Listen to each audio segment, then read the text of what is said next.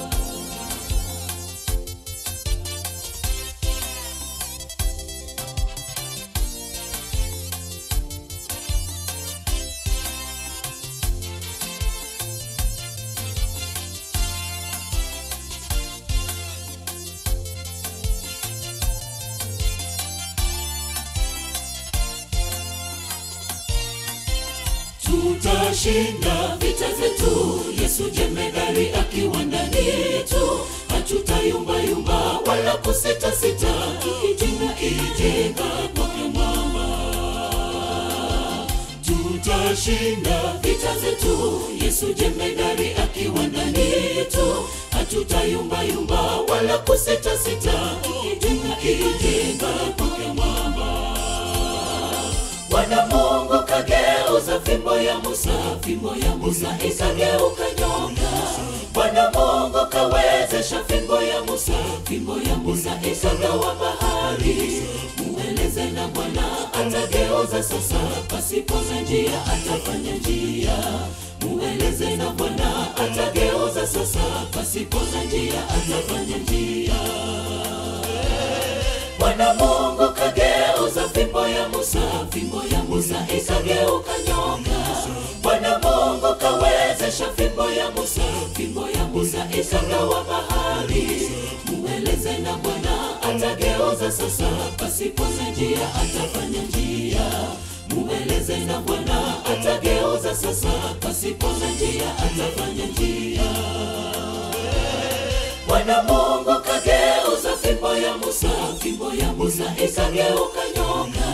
Bwana Mungu kawezesha fimbo ya Musa, fimbo ya Musa ikagawa bahari. Mueleze na Bwana atageuza sasa, pasipo na njia atafanya njia. Mueleze na Bwana atageuza sasa, pasipo na njia atafanya njia. Bwana Mungu kageuza fimbo ya Musa, fimbo ya Musa ikageuka nyoka. Bwana Mungu kawezesha fimbo ya Musa, fimbo ya Musa ikagawa bahari. Mueleze na Bwana atageuza sasa, pasipo na njia atafanya njia. Mueleze na Bwana atageuza sasa, pasipo na njia atafanya njia.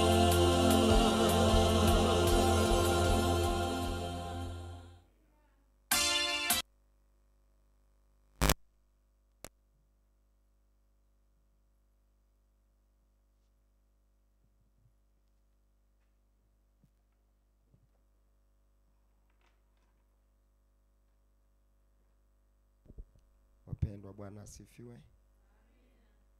Wakristo, Bwana ni mwema na wakati wote.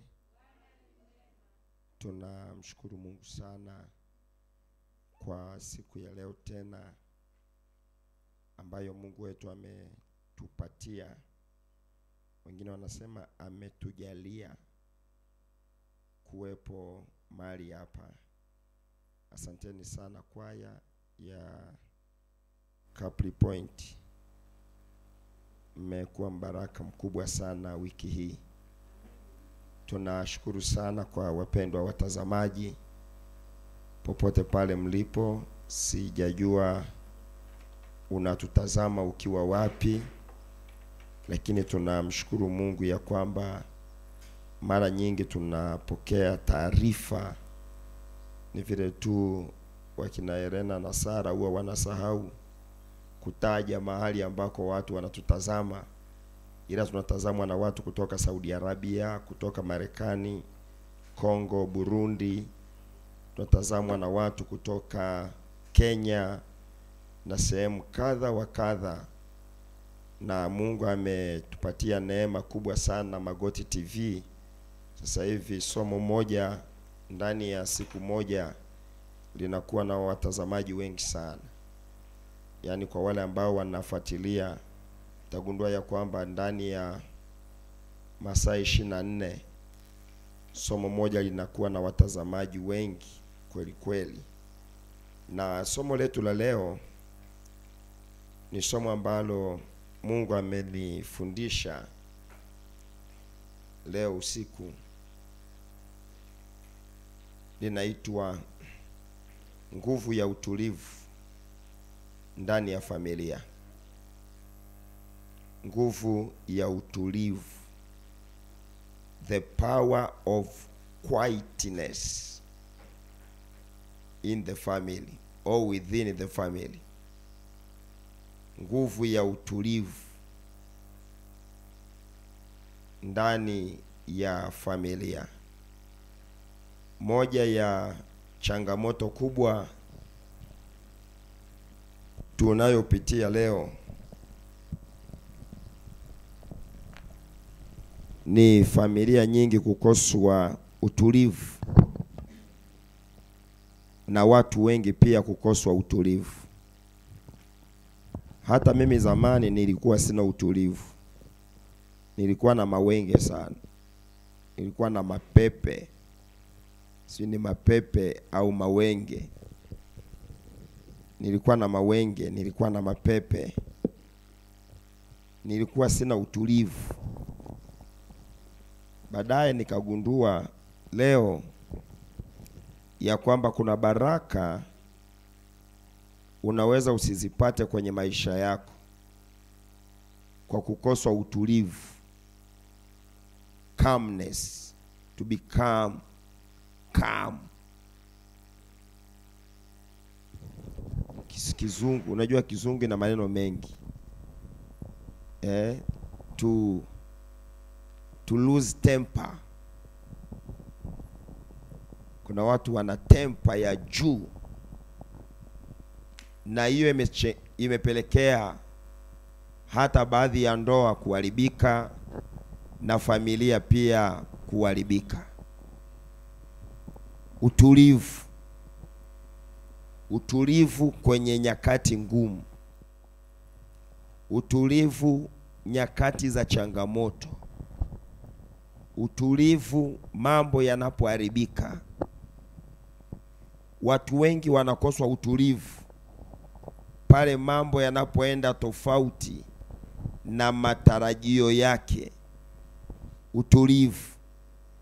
Hebu tuanze kidogo kuangalia kwenye Biblia, ukisoma pamoja nami kitabu kile cha Zaburi ishirini na tatu. Zaburi ishirini na tatu na ule mstari wa pili. Zaburi ishirini na tatu na ule mstari wa pili. Biblia inasemaje? Biblia inasema Ndiyo, katika malisho ya majani mabichi hunilaza, katika majani ya ma, katika malisho ya majani mabichi unilaza, kando ya maji ya utulivu huniongoza. kando ya maji ya utulivu huniongoza. Mungu awaongozi watu ambao hawana utulivu. Kama unahitaji msaada wa Mungu, jifunze kuwa na utulivu pia. Kama unahitaji familia yako iwe ya amani, jifunze kuwa na utulivu. Na Biblia inasemaje kwenye kitabu cha Mwanzo sura ya kwanza? Mwanzo sura ya kwanza na ule mstari wa pili. Mwanzo sura ya kwanza na ule mstari wa pili. Biblia Biblia inasema inasemaje? nayo nchi ilikuwa ukiwa tena utupu, Nayo nchi ilikuwa ukiwa tena utupu, na giza lilikuwa juu ya uso wa vilindi vya maji. na giza lilikuwa juu ya uso wa vilindi vya maji. Roho ya Mungu ikatulia juu ya uso wa nchi. Roho ya Mungu ikatulia. Yaani Mungu anatulia mahali penye utulivu. Mimi nimefanikiwa kusafiri kwenye nchi zenye vita. Nimefanikiwa kufanya mikutano kwenye nchi ambazo zina mapigano. Nataka nikwambie mahali popote penye machafuko hapana maendeleo. Mahali popote penye machafuko hapana maendeleo. Yaani familia yako ikiwa haina maelewano, baba na mama hawaelewani, watoto kwa watoto hawaelewani, maendeleo yanapotea na Mungu anapotea, kwa sababu Mungu anataka watu wake wakae kwenye utulivu. Ndivyo anavyosema kwenye kitabu cha Isaya 32 Isaya 32 na ule mstari wa kumi na nane. Isaya 32 na ule mstari wa kumi na nane. Biblia inasemaje? Biblia inasema ndio. Na watu wangu watakaa katika kao la amani, na watu wangu watakaa katika kao la amani. Na katika maskani zilizo salama na katika maskani zilizo salama na katika mahali pa kupumzika penye utulivu. katika mahali penye kupumzika penye utulivu. Mungu anataka watoto wake wakae kwa amani. Anataka nyumba zetu ziwe na amani. Anataka watoto wetu wawe na amani. Anataka tuishi katika kao lenye pumziko lisilokuwa na fujo, lisilokuwa na kelo, lisilokuwa na machafuko. Mungu anataka watu wakae kwenye utulivu. Sasa sikiliza, moja ya changamoto kubwa tulionayo wanadamu wengi leo ni kukoswa utulivu, hususan mambo yanapoharibika, wakati wa shida, wengi tunarukaruka sana, na mimi nilikuwa hivyo zamani. Nilikuwa nikipata shida mpaka uso wangu unauona kabisa, unasema huyu kuna shida.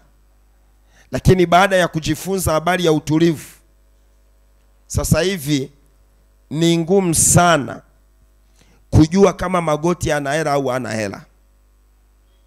Ni ngumu sana kujua ya kwamba Magoti ndoa yake ina amani au haina amani. Ni ngumu sana kujua watoto wangu wamekula au wamelala njaa.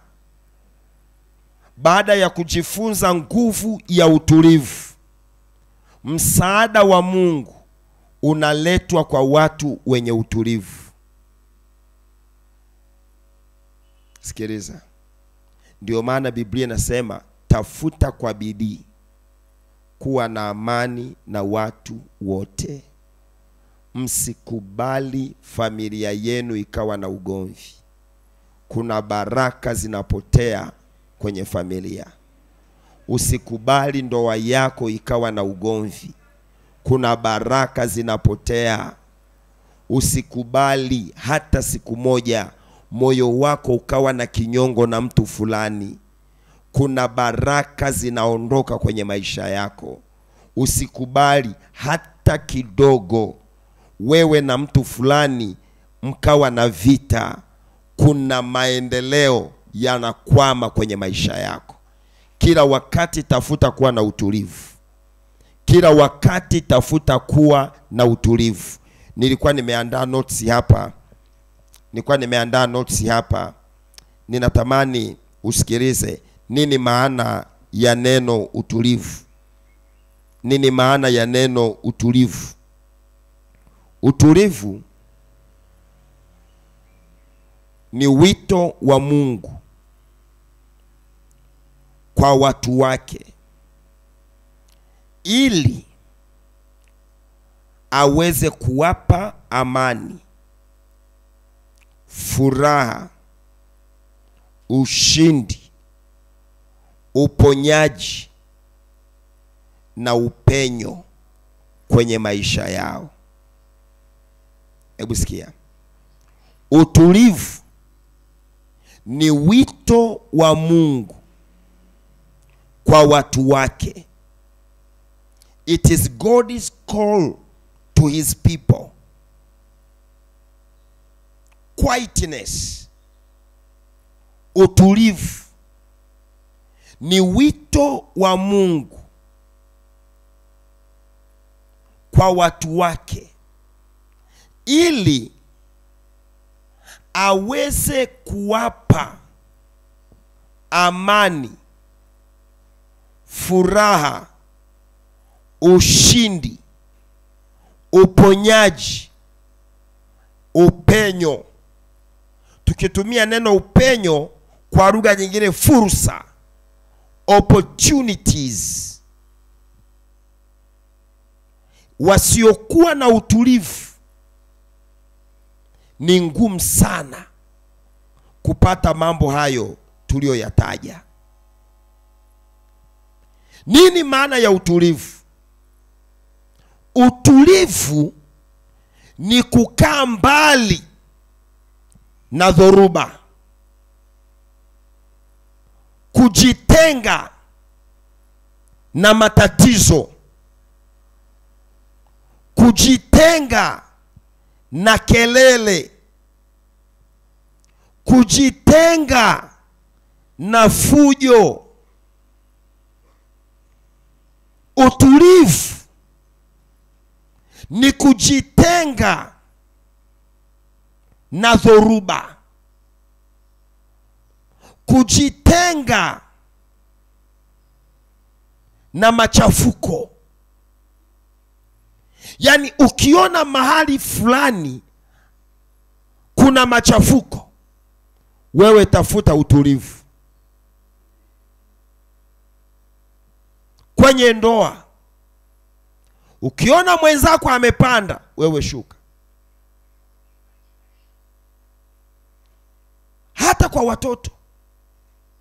Nimewahi kuona kuna baadhi ya wazazi wanabishana yani mama anabishana na binti yake.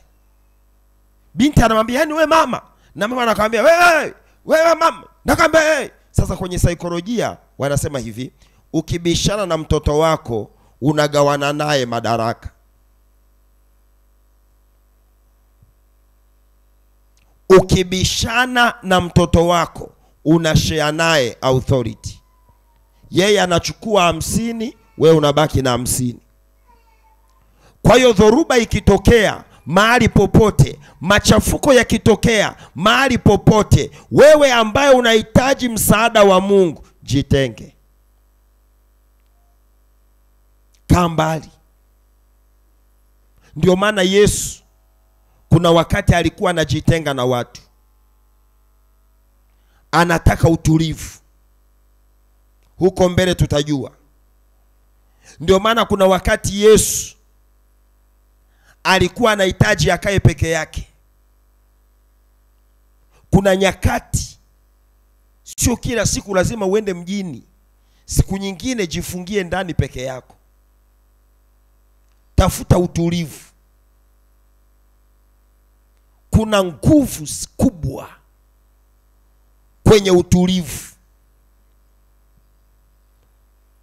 Binti ukipata kijana kama unahitaji akuoe jifunze kuwa na utulivu. Sio tu umechumbiwa leo kesho unaanza bebi nikwambie kitu gesi imeisha.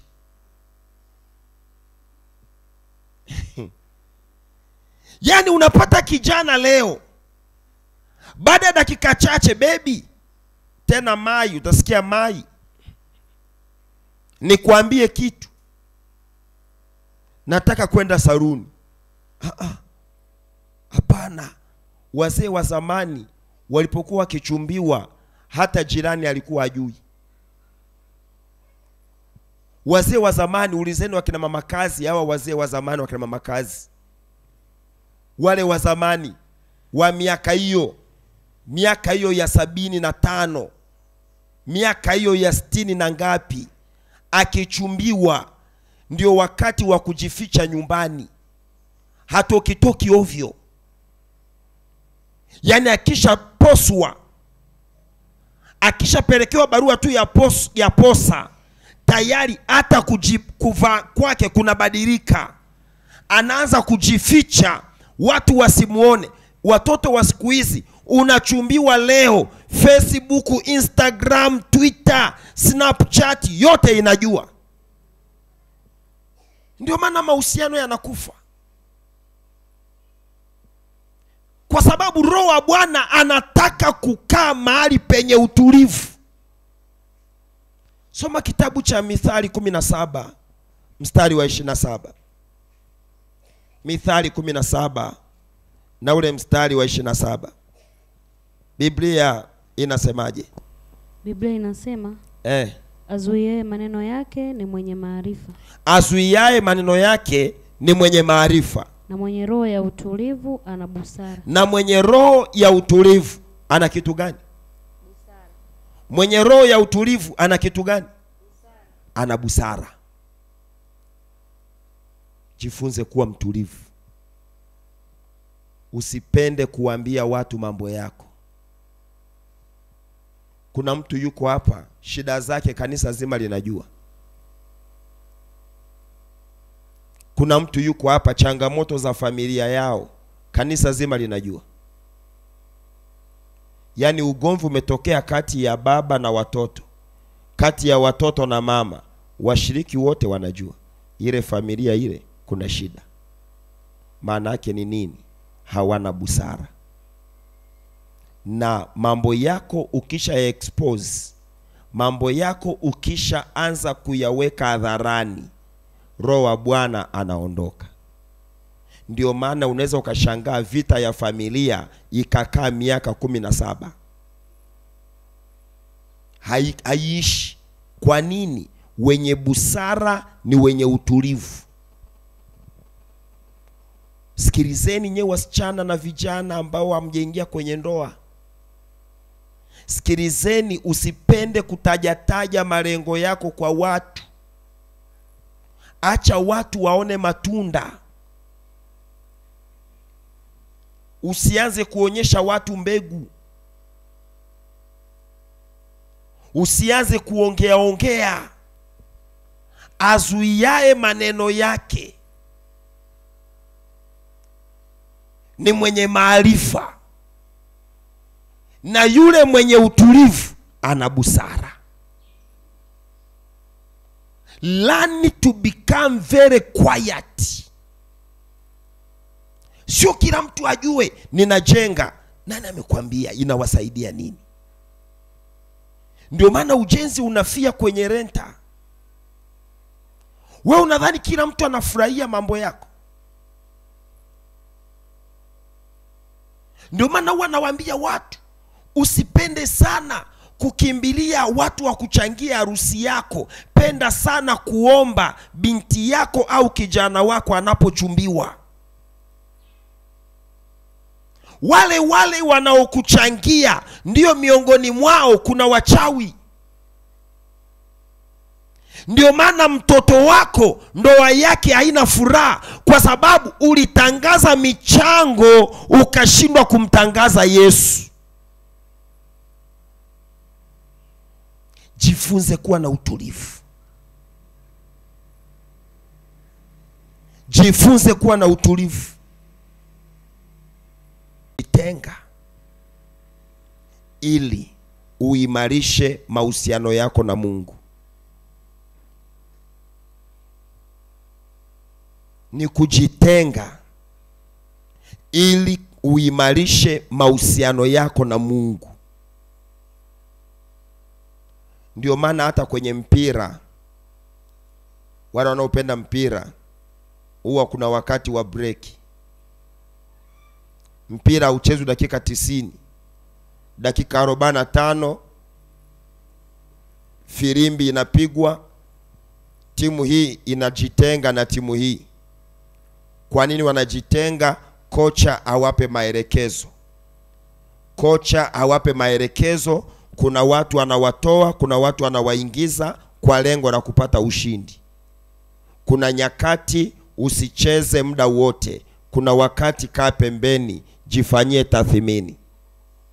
Kuna wakati jitathmini, sio kila siku unafungua biashara, siku nyingine usifungue ukae na Mungu, umuulize Mungu, hivi biashara hii ninavyoiendesha niko sawasawa? sawa?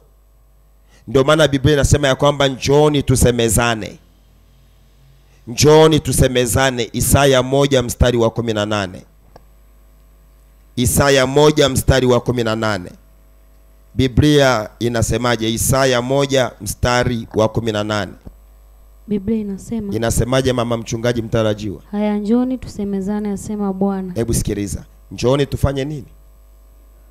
Njooni tufanye nini? Tusemezane. Huwezi ukasemezana na Mungu kama hauna privacy. Huwezi ukasemezana na Mungu kama hauna muda wa wewe pamoja na Mungu. Ndio maana huwa nawaambia watu, wakati mwingine mchukue mtoto wako muitie eidha chumbani kwako au nenda chumbani kwake, zungumza naye. Mkiwa wawili, mnasemezana naye. Mahali penye utulivu. Wakati mwingine mchukue mke wako, sio lazima muongee naye pale nyumbani. Mchukue mwende naye mahali fulani. Mkae naye. Wakati mwingine mwambie mke wangu, leo hatutalala hapa, tutaenda kulala hotelini. Mkiwa mule hotelini wawili peke yenu, mnaanza kuongea. Unajua jana uliweka chumvi nyingi. Aa, wewe naye pia ulinikwaza. Unajua na wewe pia ulinivuruga. Mahali penye utulivu ndio mahali penye ushindi. Mahali penye utulivu mahali penye utulivu. Wakati fulani unapoona mtoto wako amekosea leo, mvutie upepo, akiwa ametulia, zungumza naye, atakusikiliza. Lakini akiwa katika dhoruba na wewe ukaanza kumuwakia, unachochea moto. Si kama kuna mtu ananielewa. Shetani anapenda kuvuruga vitu, na Wakristo wengi hawajui njia ya kutatua. Moja ya njia ya kutatua matatizo ni kuwa katika hali ya utulivu, hali ya utulivu. Wewe kuna shida gani iko kwenye familia yenu iliyokaa kwako kwa muda mrefu? Yule mtu ambaye ni chanzo cha tatizo, usimseme kwenye kikao cha familia, hata kuelewa. Muite pembeni, zungumza naye mkiwa kwenye hali ya utulivu. Mwambie dada, kaka, hivi kitu tunaionaje? Ah, unajua mdogo wangu hivi na hivi, lakini si unajua madhara yake. hamjikona kuna familia zina vita? Hamjui kuwahi kuona kuna familia zina vita? hamjai kuona mke na mme wana vita? Sababu baba hana utulivu, mama hana utulivu. Siku moja nilikuwa naongea, nikawa nawaambia kuendesha ndoa ni kama kuendesha baiskeli. Kuna vijana walinifata wakitaka ushauri wa ndoa, nikawa nawaambia mnajua kuendesha baiskeli? Wakanambia ndio. Unaendeshaje baiskeli? Baiskeli tunafanya pedalizing, ya kwamba mguu mmoja unapanda, mwingine unashuka, mwingine unapanda, mwingine unashuka. Unapofanya ile pedoli, pedalizing ni pe, pe, pedo nini? Pedalizing unapofanya ile pedalizing kwa hiyo ukiona mwenzako amepanda wewe shuka. Akishuka mwambie ulipopanda abcd ulikosea. Siku nyingine usipande sana. Usifike kwenye boiling point. Na nyewe wasichana wadogo mlioko hapa jifunzeni sana kuwa na vifua. Friji zenu zigandishe. Kuna watoto wako hapa friji haigandishi amepata kijana nyakato tayari kapri point yote imejua. Ndio maana unaachwa. Kuna vijana wanataka kupata mwanamke ambaye ana utulivu.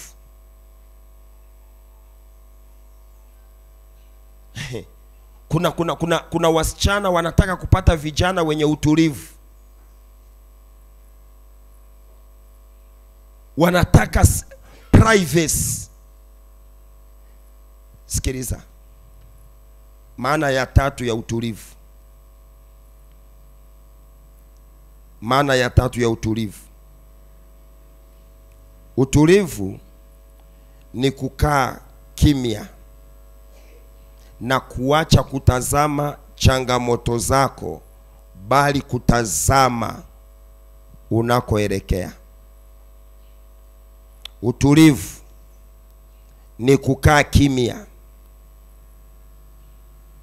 na kuto kutazama changamoto ulizonazo, kuacha kuziongea changamoto zako, bali ukaongea unachokitarajia. Utulivu ni kuacha kutazama unachopitia, bali kutazama unachokitarajia. Kuna watu hapa kila mwaka wanaongea shida tu. Usiwe mwepesi wa kuongea shida, hautapata baraka. Usiwe mwepesi wa kuongea laana, hautapata baraka. Wenye utulivu ni watu ambao hawawazi jana, wanawaza leo na kesho. Wanajua jana ilishapita. Nilikuwa naongea na wanafunzi wa Bupandagira, nikawa nawaambia ukitaka kupata A usiangalie ulivyofeli jana. Usianze kukaa na kusema e, mimi sasa nimeshazalishwa kweli, nitaolewa. Haikuhusu. Nani ambaye hajawahi kutenda dhambi duniani? Wewe unadhani wanaume wangekuwa wanabeba mimba wangekuwa na mimba ngapi? Wewe unadhani wanaume angekuwa anabeba mimba leo angekuwa na watoto wangapi? Kwa hiyo wewe msichana, usikae ukajisi mwenye hatia ukadhani ya kwamba kwa sababu mimi nimeshazalishwa basi tayari maisha yangu yameshaharibika. Ya no, thank you. Tuna Mungu mwenye rehema na neema.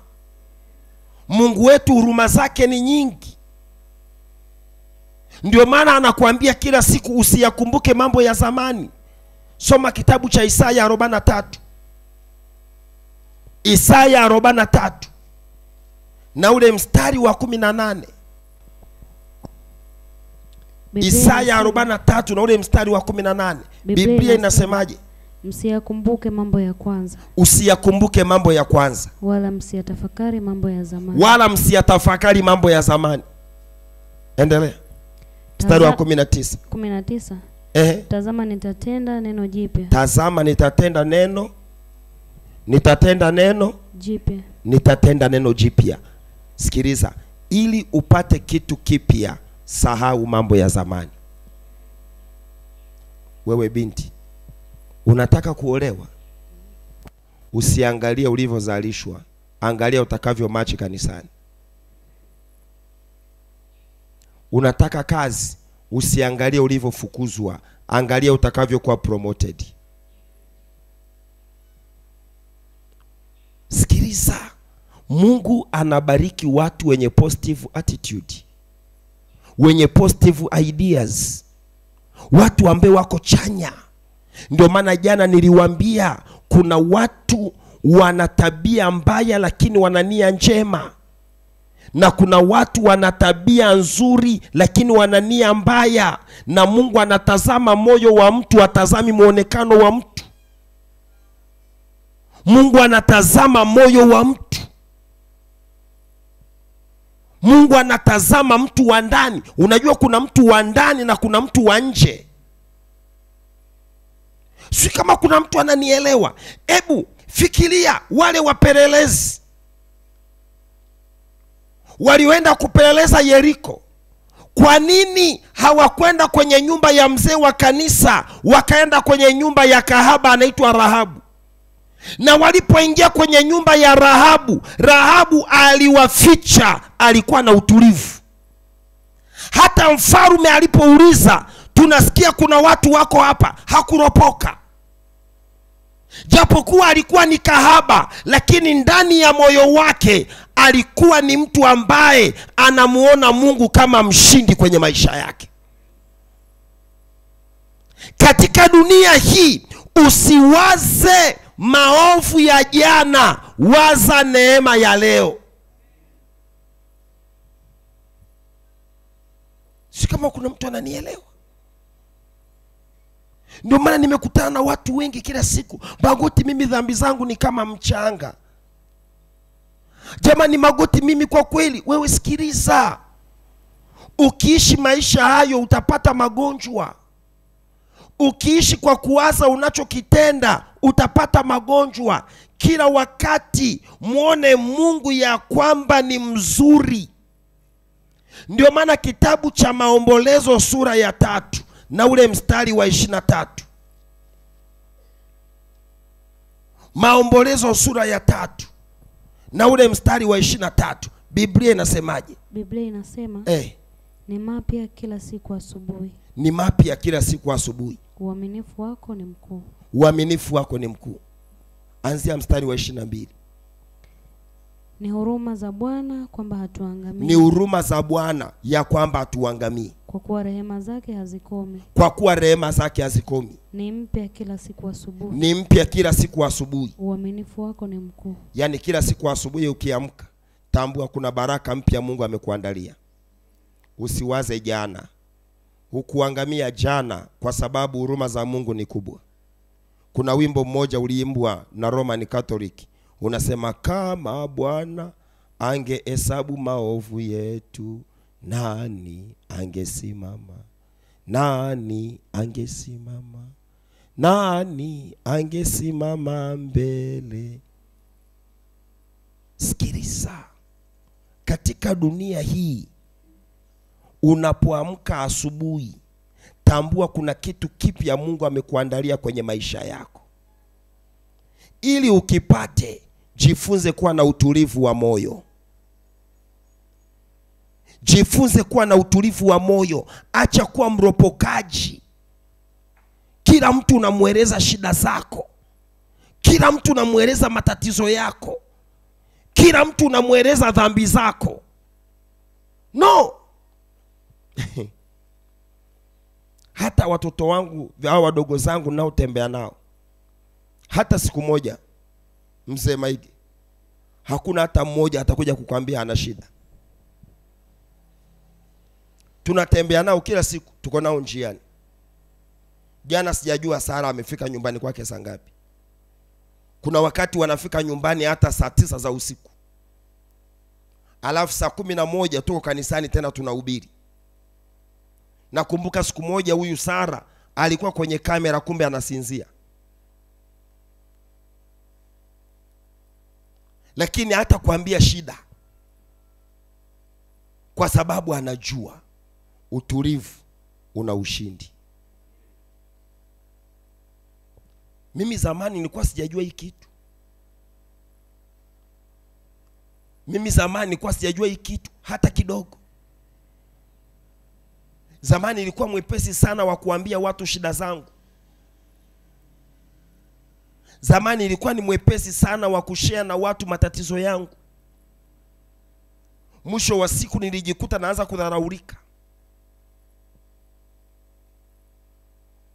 lakini nilipojua hii siri ya utulivu ndipo nilipoona baraka za mungu kwenye maisha yangu. Wazazi mlioko hapa naomba mnisikilize. Usipende kutaja madhaifu ya watoto wako. Taja mazuri ya watoto wako. Taja mazuri ya watoto wako. Usipende kutaja madhaifu ya mwenzi wako yaani we mwanaume wewe. We mwanaume wewe nakwambia wewe utaniua utaniua. Ah, ah, mwambie mme wangu kwa kweli pamoja na ulevi wako ila unatuleteaga mboga.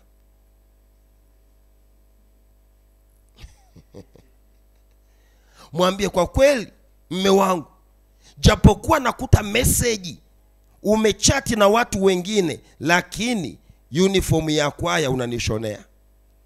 Jifunze kutaja mazuri ah, nitawauliza swali. Nashukuru leo niko na mwanasiasa hapa. Rafiki yangu ni mwanasiasa. Marehemu roasa alitukanwa na watu wangapi? Uliwahi kuona roasa kwenye jukwaa anajibu matusi ya watu? Ndio maana alipokufa kifo chake kilikuwa na nguvu kubwa sana msiba wake ulikuwa na nguvu kubwa sana roasa tena ndiye mtu aliyekuwa waziri mkuu kwa miaka miwili tu miaka miwili tu, lakini angalia nchi yote ilitetemeka kwa kifo cha Lowassa. Unajua ni kwa nini? Nguvu ya utulivu, nguvu ya utulivu. Hasa kuna mtu yuko hapa akiguswa kidogo tu, ama zake ama zangu, yaani akiguswa kidogo tu anaanza kupambana na watu, ndio watanijua mimi ni nani. Mtoto wake akiguswa kidogo tu anasema kumbe amunijui sasa ndio mtanijua mimi ni nani. uh-uh. Uh-uh. Jifunze kutulia, jifunze kutulia, jifunze kuwa na utulivu. Yesu alionewa, lakini alinyamaza, alinyenyekea, hakufunua kinywa chake. Faida za utulivu, kama unaandika faida za utulivu. Faida za utulivu. Faida ya kwanza, utulivu unakupa ushirika pamoja na Mungu.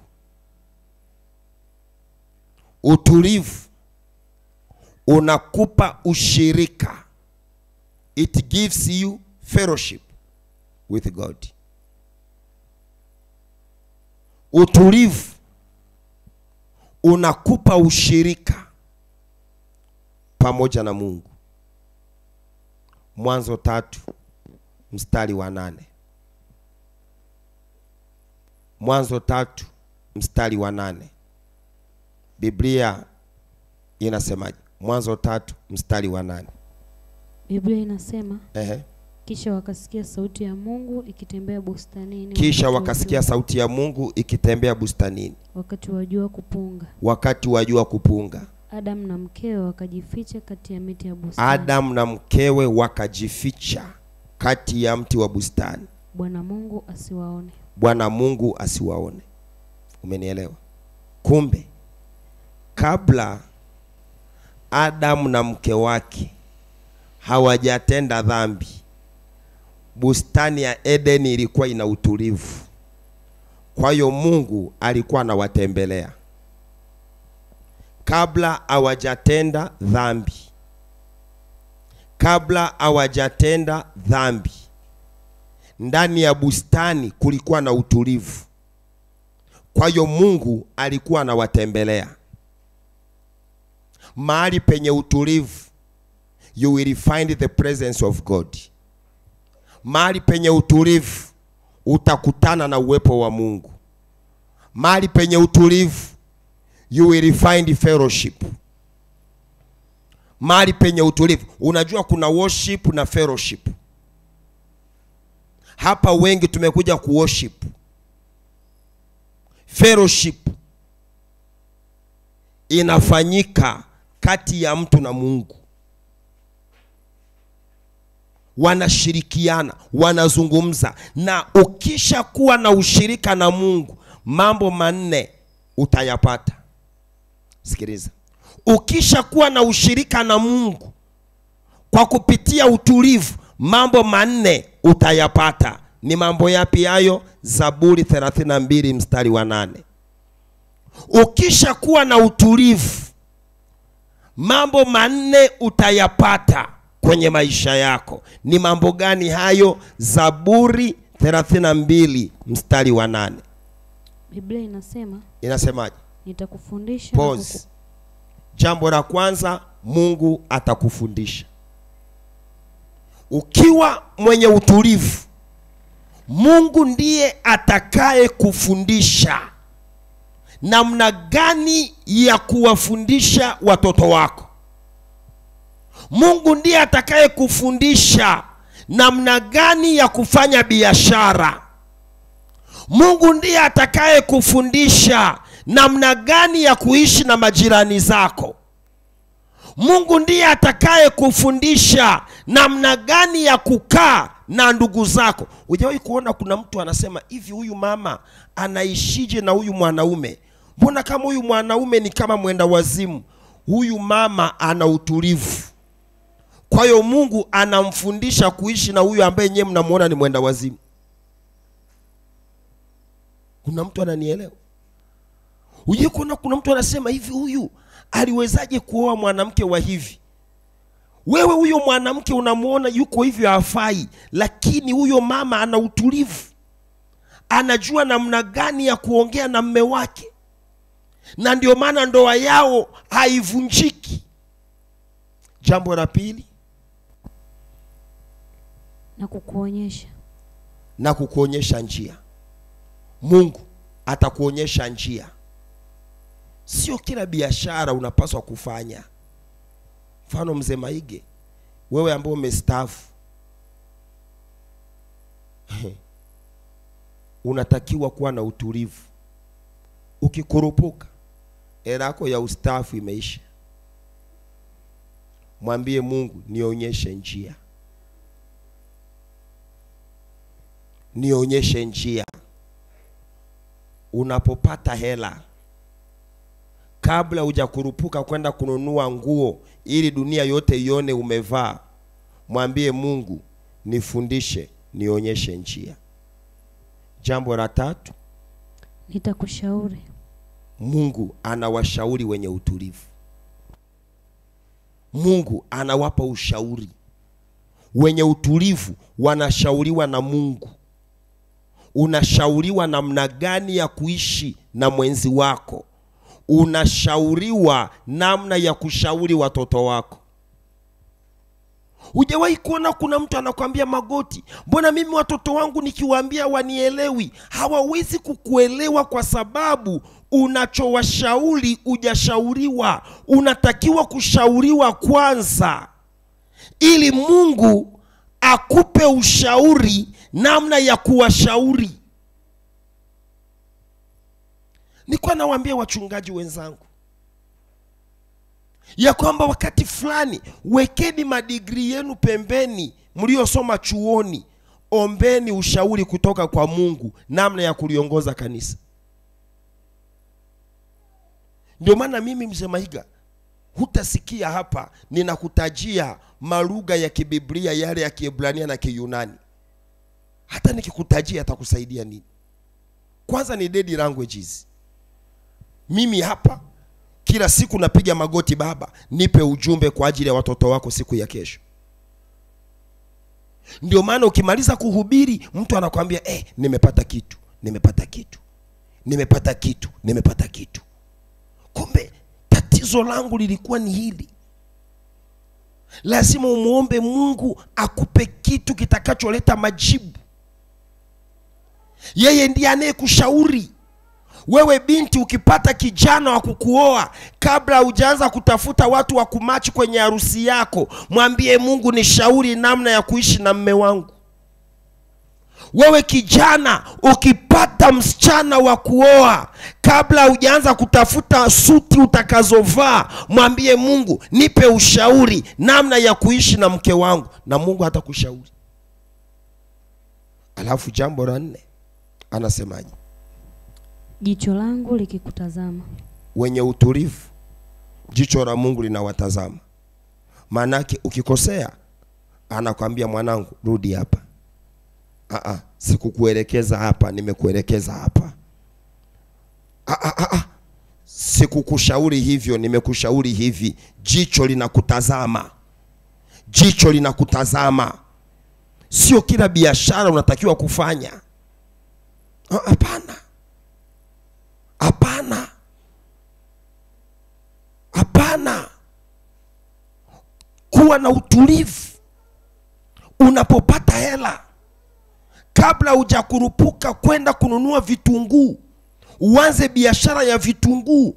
Kabla hujakurupuka kwenda kununua e, maembe uanze biashara ya maembe nenda kwa mungu mwambie baba nifundishe nionyeshe njia nishauri jicho lako likinitazama. Hiyo ndiyo maana ya fellowship. Hiyo ndiyo maana ya ushirika. Ushirika pamoja na mungu. Huwezi ukapata ushirika kama hauna utulivu. Faida ya pili ya utulivu. Faida ya pili ya utulivu faida ya pili ya utulivu. Utulivu unakupa ushirika kati ya mtu wa nje na mtu wa ndani. Unakupatia mahusiano kati ya mtu wa nje na mtu wa ndani.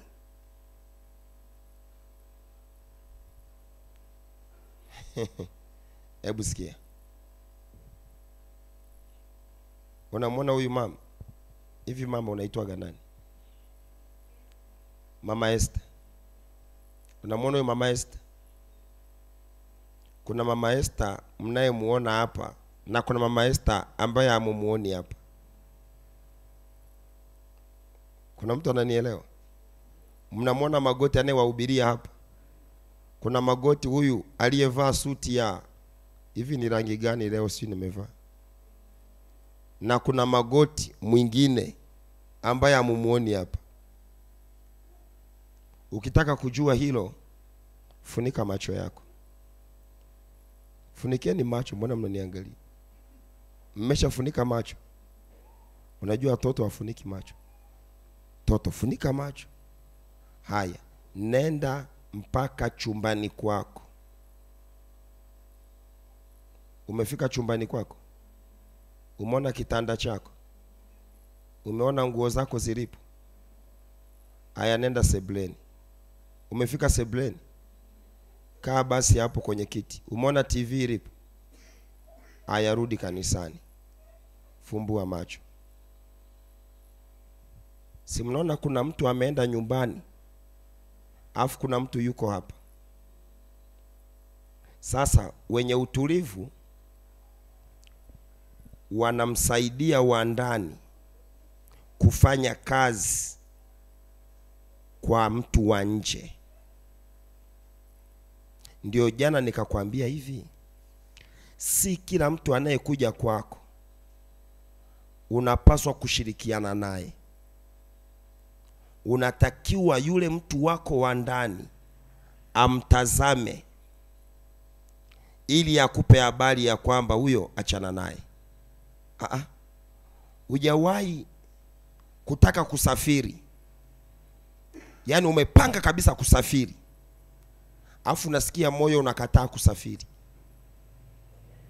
Yaani hamu ya kusafiri inaondoka sasa yule ni wandani na wandani ndiye mwenye communication na mungu. Na wandani ndiye mwenye communication na shetani. Shetani anamtumia wa ndani na mungu anamtumia wa ndani. Sasa unatakiwa kujua kupambanua. Huyu anayeongea ni pepo au ni mtakatifu? Hamtaweza kunielewa. Hebu fungua kitabu cha matendo sura ya kumi na sita. Hautaweza kunielewa. Fungua kitabu cha matendo sura ya kumi na sita. Soma mstari ule wa kumi na tatu na kuendelea. Biblia inasema Ehe. hata siku ya Sabato tukatoka nje ya lango. E, e, mstari wa kumi na ngapi hapo? Kumi na tatu. matendo kumi na sita. Hebu anzia mstari wa kumi na ngapi ule? Hebu anzia mstari wa kumi na sita. Ikawa tulipokuwa tukienda mahali pale pa kusali, ehe hapo hapo mstari wa kumi na sita. Tulipokuwa tukienda mahali pale pa kusali. Kijakazi mmoja aliyekuwa na pepo wa uuguzi. Kijakazi mmoja aliyekuwa na pepo wa uuguzi. Akatukuta, akatukuta. Aliyewapatia bwana zake faida nyingi aliyewapatia bwana zake faida nyingi kwa kuagua. kwa kuagua. Kumi na saba. kumi na saba. Akamfuata Paulo na sisi akipiga kelele. Akamfata paulo na sisi akipiga kelele. Akisema, akisemaje? Watu hawa ni watumishi wa Mungu. Watu hawa ni watumishi wa mungu. Aliye juu, aliye juu wenye kuwahubiria njia ya wokovu. mwe- wenye kuwahubiria njia ya wokovu. Endelea. Kumi na nane. kumi na nane Akafanya hayo siku nyingi, akafanya hayo siku nyingi. Lakini Paulo akasikitika, lakini paulo akasikitika. Akageuka akamwambia yule mwenye pepo. Akageuka akamwambia yule mwenye pepo. Na kuamuru kwa jina la Yesu na kuamuru kwa jina la yesu kristo. Mtoke mtu huyo. umenielewa eh? Hebu sikiliza. Mtu huyu mzee wa kanisa anasimama barabarani. Jamani ye jafeti magoti ni mtumishi wa mungu. Anawahubiria watu njia ya uokovu mzee ukikutana na mtu huyo yuko sahihi au hayuko sahihi? Jamani ye mzee Selestini Maige ndiye mzee wetu wa kanisa Capri Point, anawahubiria watu njia ya wokovu. Je, mtu huyo yuko sahihi au hayuko sahihi? Jamani ye, mzee Odiero ndiye mkuu wetu wa huduma, anawahubiria watu habari njema ya wokovu. Je, mtu huyo yuko sahihi au amekosea? La, angalia Paulo aliposikiliza, Biblia inasemaje? Alisikitika. Kwa nini anasikitika? Watu wanamsikiliza mtu ambaye kwa nje anaongea vitu sahihi, lakini kwa ndani ni pepo, na hilo ni shida kwa watu. Kuna watu mliwaamini mkadhani ni watu wema, kumbe ni mapepo. Kuna watu mliwakaribisha nyumbani, mkadhani huyu ni binti wa kazi, ameokoka, anampenda Yesu, ni Bwana, kumbe ndiye chanzo cha matatizo ya familia yako. Kwa nini watu wengi tunaangalia watu kwa nje, hatuwajui ndani, hatuwajui ndani. Sikiliza, si kila anayevaa koti ni daktari. Wengine wanauza nyama buchani.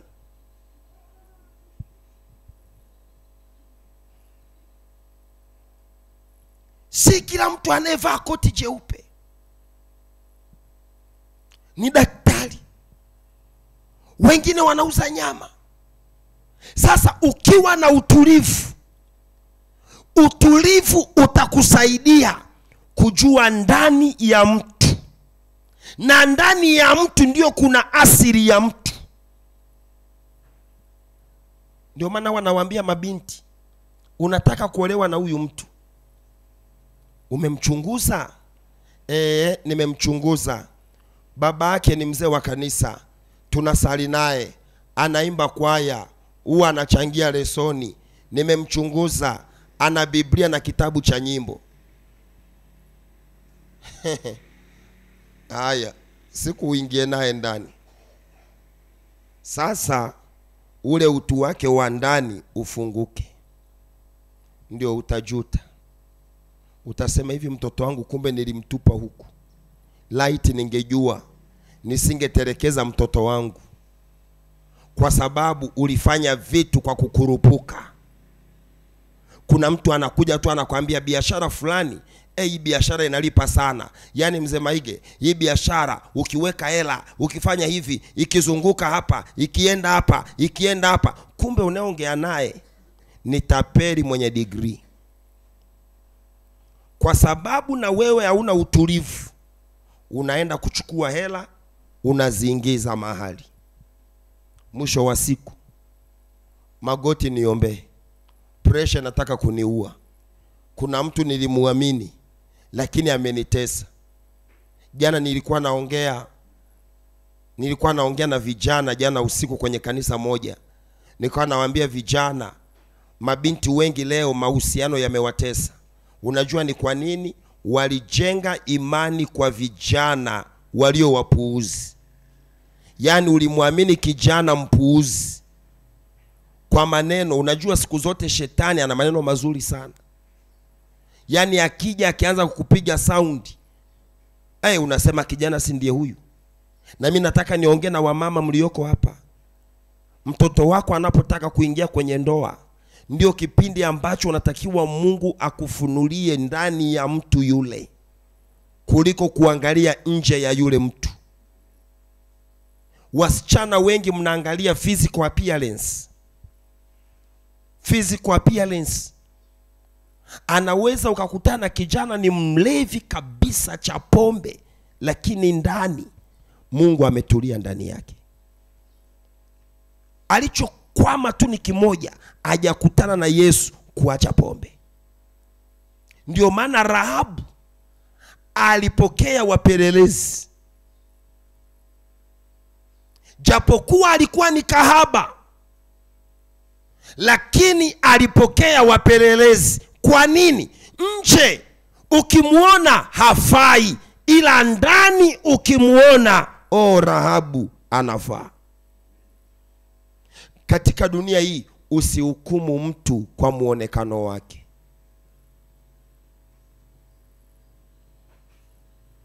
Unajua kuna watu hata akiona tu mtu ame msichana wa watu amevaa kanguo fulani sema huyu "Mm, huyu mtoto huyu huyu anaweza akawa amevaa ko kanguo hako lakini binti wa watu anampenda yesu kuliko yeye unayevaa magauni marefu.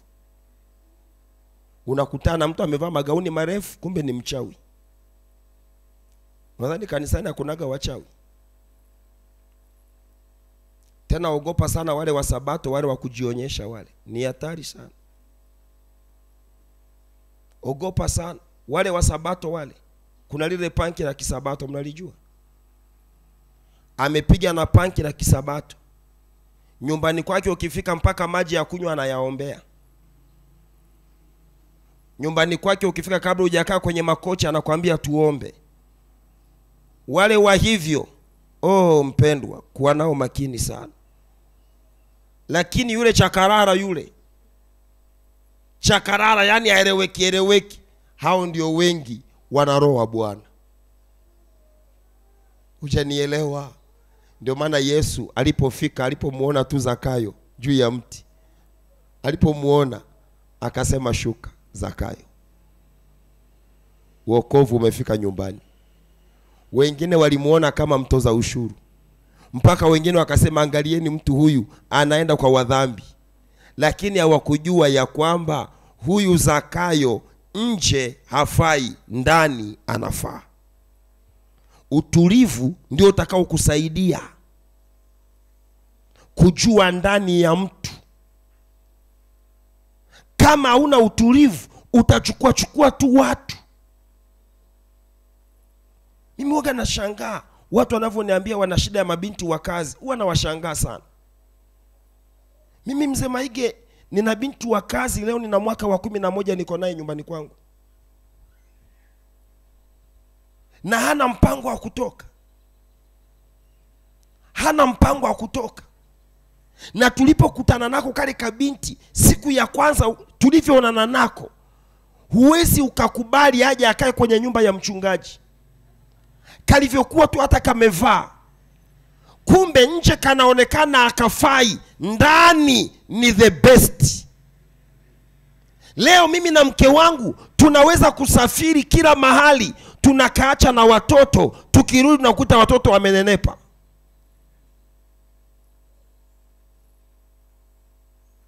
kuna mtu ananielewa? Naomba nimalizie hivi. Soma kitabu. Soma kitabu cha mithali ishirini. Mithali ishirini mstari wa ishirini na saba. Biblia inasemaje? Mithali ishirini na ule mstari wa ishirini na saba. Biblia inasema inasemaje? pumzi ya mwanadamu ni taa ya Bwana, pumzi ya mwanadamu ni taa ya bwana hupeleleza yote yaliyo ndani yake. hupeleleza yote yaliyo ndani yake. Yaani, sikiliza, ukiwa na utulivu, nimekwambia roho wa Bwana anakaa mahali penye utulivu. Kwa ile pumzi ya Mungu inakaa ndani yako, inapeleleza yote yaliyoko ndani ya mtu. Kwa hiyo Mungu ndiye anayekusaidia. Ukimtazama Magoti hivi, unajua huyu ni mtu wa Mungu, huyu ni mtu wa shetani. Lakini kama pumzi ya Mungu haiko ndani yako, nataka nikwambie, kuna watu utawakaribisha ndio watakao kutesa kwenye maisha yako.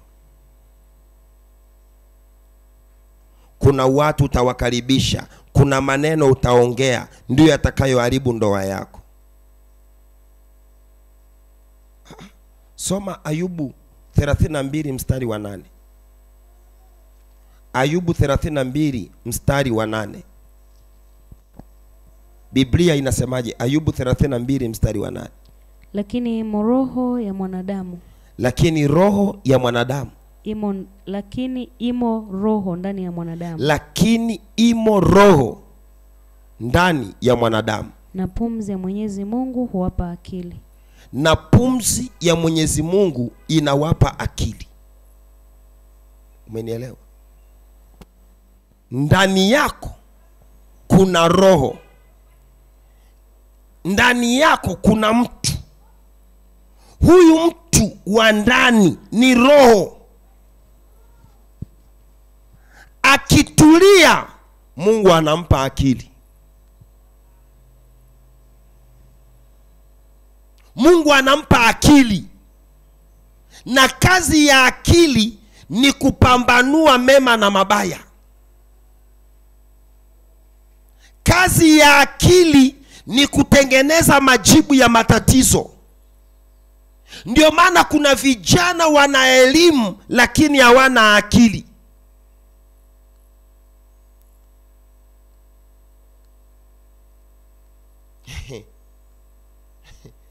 Yaani amesoma lakini hana akili. Anajua na Kiingereza lakini kichwani humu bogus. Kichwa chake ni sufuria ya kilioni. Unajua kuna tofauti kati ya sufuria ya msibani na sufuria ya kilioni. Sio kama mzee Odero, unajua kuna tofauti ya msiba na kilio. Msiba chakula kipikwi na wananzengo, chakula kinaletwa na watu wa catering. Huo ni msiba. Kilio, chakula kinapikwa na wananchi. Kwenye kilio kuna daftari la mchango, kwenye msiba kuna kitabu cha maombolezo. Kwenye kilio watu wanavyolia kwenye kilio. Ni wai hey, jamani we kama wale wajita wa kwetu. Wamura we eh, magoti. Eh, magoti we magoti. Eh, mm, mm, huh. Kwenye msiba watu wanalia, wanafuta machozi ili makeup isitoke. Kwenye msiba wanavyolia, wanafanya hivi ili makeup isitoke lakini kwenye kilio bamuna we we.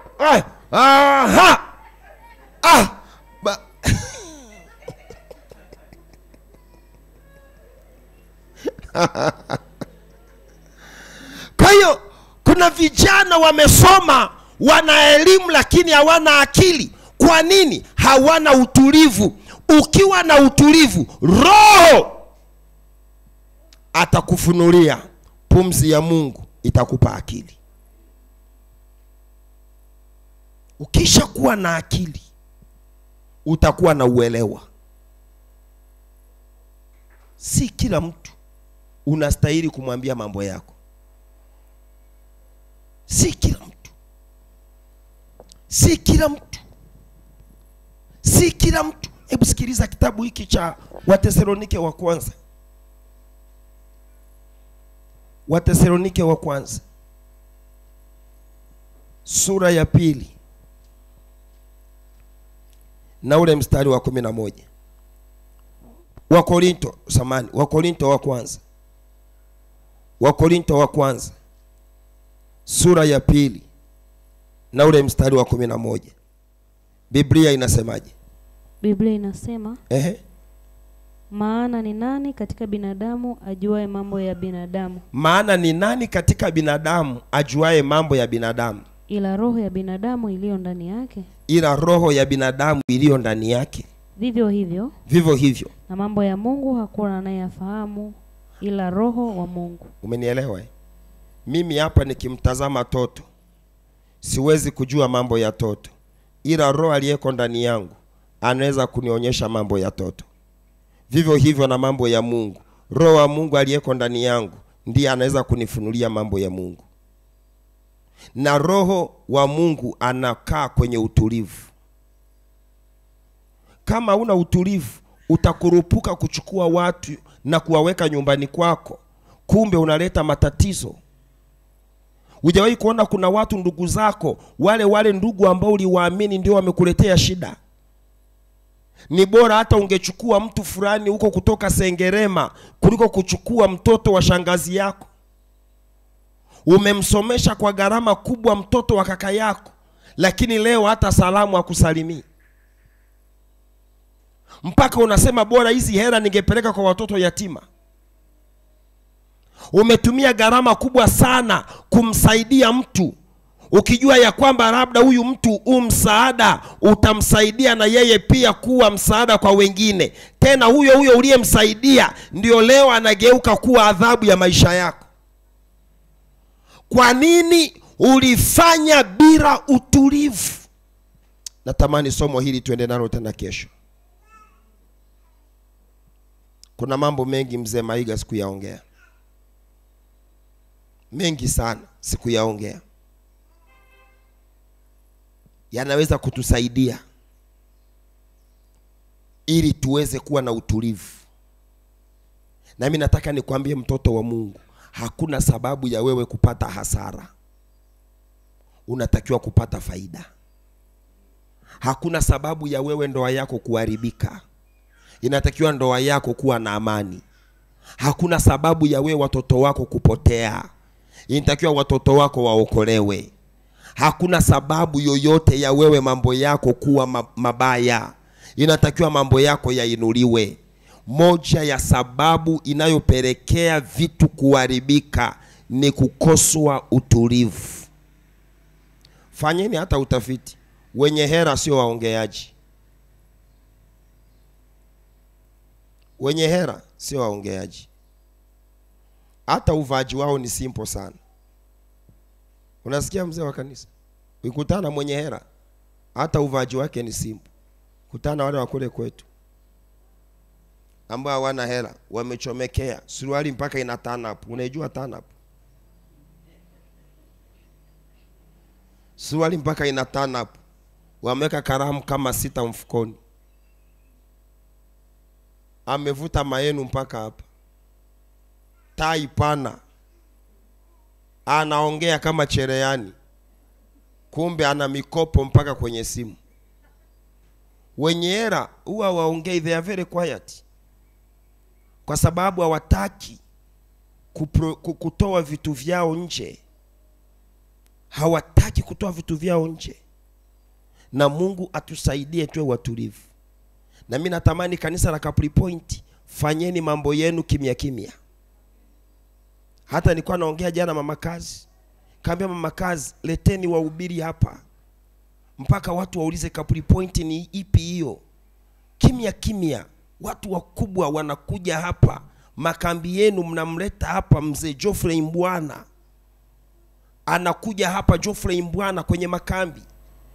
Mnamleta hapa mchungaji Ted Wilson kwenye kambi la, la Capri Point watu wanauza jamani hawa watu kwani vipi? Na wakikutana na watu wakapripoint hawaonekani na mambo anayoyafanya lakini mkibaki tu kusema he, sisi jamaa unajua kanisa letu hili ni la familia tu chache jamaa unajua sisi jamani sisi hmm. yani sisi tu mali ni wanafunzi tu jamani sisi yani pale hmm, pale ukimtoa tu mzee Odiero ukimtoa tu hapo toto ukimtoa mama Esther ukimtoa sina mama nani basi kanisa limeisha Yani sisi magoti sisi hmm. sisi magoti yani sisi jamani eh. mkikoswa utulivu mtakoswa ushindi mungu atusaidie sana. Wangapi wanatamani roho ya utulivu? Simama pamoja na mimi. Unaweza kusogea hapa mbele. Unaweza kusogea hapa mbele. Unaweza kusogea hapa mbele.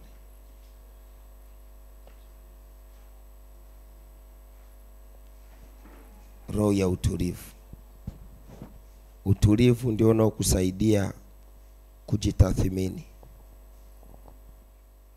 kujitathmini. utulivu unakusaidia kujitathmini. quietness can help you to make self assessment kama hauna utulivu ni ngumu kujitathimini mwaka jana biashara yako ilikuwa kwenye hali gani? Mwaka huu biashara yako ipo kwenye hali gani? Utulivu ndio utakao kusaidia unapanda au unashuka. Wazee wa kanisa lazima kila mzee wa kanisa apate muda wa utulivu. Kuangalia je katika nafasi aliyopewa idara yake sio tu wazee wa kanisa kila mtu kanisani hapa kwenye idara yake. Je idara yako inazaa matunda au haizai matunda. Kaa peke yako. Spend your time with jesus. Make meditation. Jitathimini. Je hawa watoto wangu wanavyoelekea hivi kweli watakuwa na mwisho mzuri? Hivi siku nikifa hawa watoto kweli hawatagombana kweli? Hawatagombana. Lakini kama we ni mzazi ambaye unaongea ongea ovyo siku ukifa utaacha vita ya ajabu sana. Lazima ufike mahali uwe na utulivu. Unakaa unajitathimini ya kwamba hivi huyu binti yangu akiolewa na huyu hivi kweli kuna, kuna nuru hapa kweli? Kwa sababu utulivu biblia inasema ya kwamba mkajijaribu ninyi wenyewe. Si kama ile fungu mliwahi kulisoma. Jijaribuni ninyi wenyewe. Jijaribuni ninyi wenyewe. Jijaribuni ninyi wenyewe jijaribuni ninyi wenyewe. Muone kama mnayoyafanya yanampendeza bwana. Katika hali ya utulivu. Katika hali ya utulivu. Jijaribuni.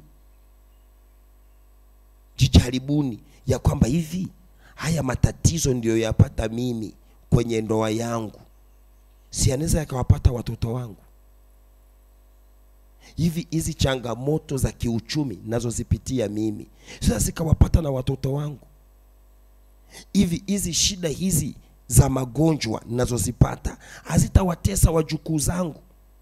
Jitathimini katika hali ya utulivu kaa peke yako mwenyewe kaa peke yako kaa peke yako na utakapoona kuna shida msaada wako unapatikana wapi? Msaada wako unapatikana kwa mungu biblia inasema nitanyanyua macho yangu nitatazama milima. Msaada wangu utapatikana wapi? Msaada wako huko kwa mungu. Chukua shida zako zipeleke kwa yesu usizipeleke kwa watu. Usiwambie watu mambo yako mwambie mungu mambo yako. Mwambie mungu matatizo yako. Mwambie mungu changamoto zako. Tunaye yesu ambaye anaweza. Tunaye yesu ambaye ni jibu. Tunaye yesu ambaye ni njia yeye kwake kwetu ni uzima. Shetani kazi yake ni kuua na kuharibu. Lakini yeye alikuja tupate na uzima na tupate na uzima kweli kweli. Mwambie mungu wa mbinguni ya kwamba watoto wangu wasiharibike hata mmoja. Watoto wangu wasivurugike hata mmoja matatizo ya baba yao yasiwapate watoto wangu. Matatizo ya mama yao yasiwapate watoto wangu. Shida zangu zisiende kwa wajukuu zangu. Matatizo yote tabia zangu mbaya zisiwapate hawa. Huwezi kujitathimini kama hauna utulivu. Mzee maige njoo tuombee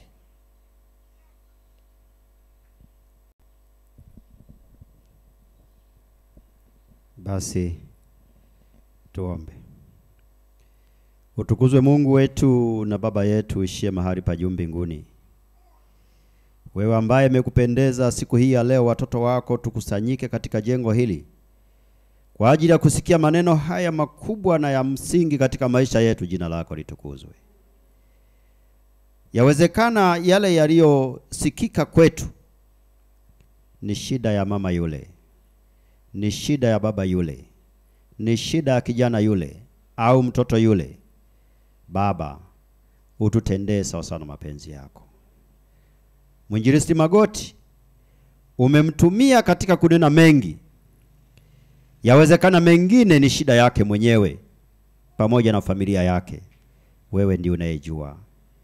Unapokuwa unanyosha mkono wako kwa watoto wako, usimsahau pia mtumishi wako kwa kazi anayoifanya, lakini pia pamoja na timu yake yote na familia zao, ili jina lako litukuzwe. Tunapoendelea na kipindi hiki katika juma hili, endelea kuwaita watoto wako ili tuweze kuja kujifunza ukuu kupitia maneno ya mtumishi wako ambayo umeandaa kwake kwa ajili ya wiki nzima. Endelea kumlinda pia katika afya yake ili asimame kwa zamu yake. Ni katika Kristo Bwana wetu, amen. Msisahau kuna utoaji wa sadaka, kuna sanduku la sadaka hapo, na wewe unayetutazama unaweza kutuma sadaka yako kwa namba ambazo zinaonekana hapo, na hiyo sadaka inaweza kutusaidia kwa ajili ya kupata bando na namna ya kutuwezesha kuendelea kutangaza neno la Bwana. Ni sadaka yako kwa Bwana. Mungu akubariki sana.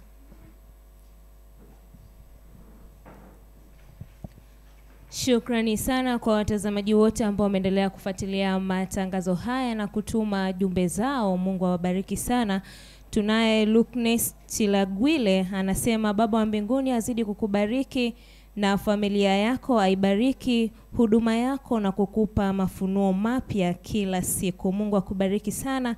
Lakini pia tunaye Simon mkwizu anasema anatokea Kariakoo, Dar es Salaam. Pia tunaye Gachacha Melbiaki pamoja na Kevin Musa, Lemi Selonei. Mungu awabariki sana kwa kuwa pamoja nasi na kufuatilia matangazo haya. Hadi kupiki, kufikia hapo hatuna la ziada. Muwe na wakati mwema. Mimi ni Helena Msusa. Mungu awabariki. Utajiunga nasi hapo kesho tutakapokuwa na mwendelezo na mfululizo wa matangazo haya. Mm-hmm.